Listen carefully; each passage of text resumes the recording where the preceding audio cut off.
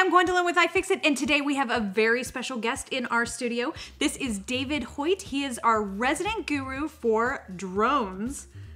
This right. is awesome. I am so excited that you came in today and you're going to tell us a little bit about not just building drones, but uh, repairing them, right? Yeah, that's right. Okay. Now, I know they're awesome and they're addictive to fly, They're a lot of fun, yeah. But tell us how you got into them. So I started flying airplanes when I was in high school, and uh, when I got to college, I didn't have a runway, so I figured, well, it'd be cool to have a helicopter.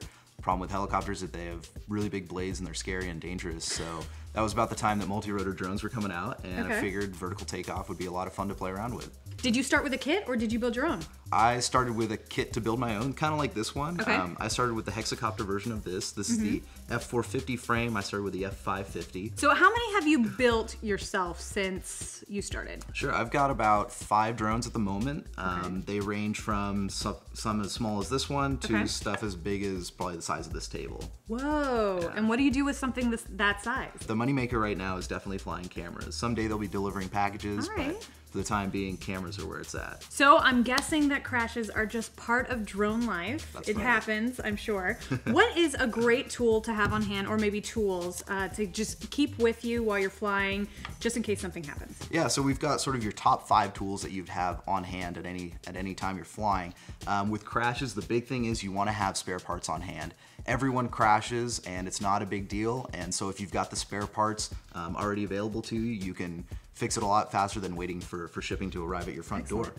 As far as tools go, um, certainly probably the most common one are your hex drivers. I've got a two millimeter right here and a 2.5 millimeter. Okay. Um, these are really common. You do you sometimes use a 3.0, but 2, 2 and 2.5 are And these are the small, we can fit these in a bag. Great. Um, let's see, we've got our mounting tape. This is 3M double-sided sticky foam mounting tape. um, it's got okay. adhesive on both sides of it. You can cut it exactly to the right size that you like. And then you've also got your um, just a pair of like wire snippers, or these are called dikes, um, and they're great for snipping zip ties or other hard to get to places. Not wires, though. Exactly. You don't want to cut if you're cutting a zip tie. You don't want to accidentally cut a wire. Right. So these are really precise cutters. Nice. Um, I really like Okay. those a lot. Cool. At the field, you want to have a couple of spare zip ties. These are great for mounting down anything that might come Yeah. loose. Um, so we've got two sizes here. There's the 8-inch zip tie and your 4-inch. Um, you use a lot of the 8 inches, but um, the 4-inch ones are great for really small components as Okay. well.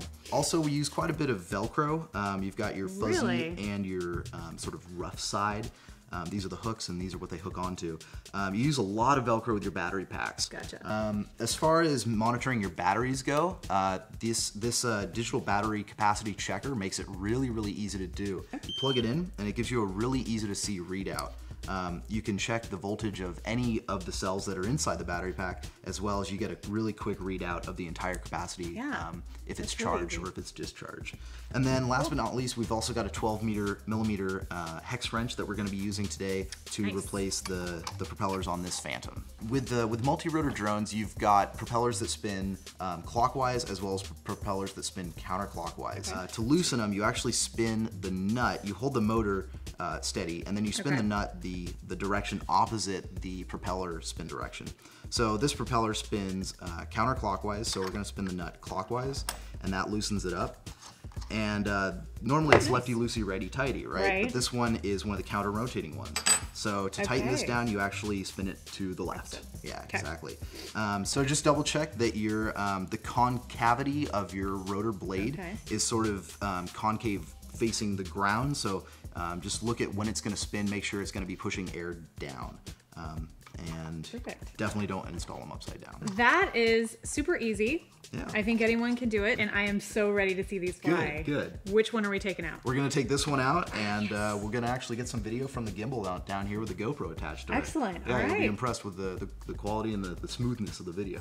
David, this is so awesome. Thank you so much for coming in and showing us your drones and how to repair them. If you're interested in drone repair, check it out at ifixit.com or we'll have the link below in the description.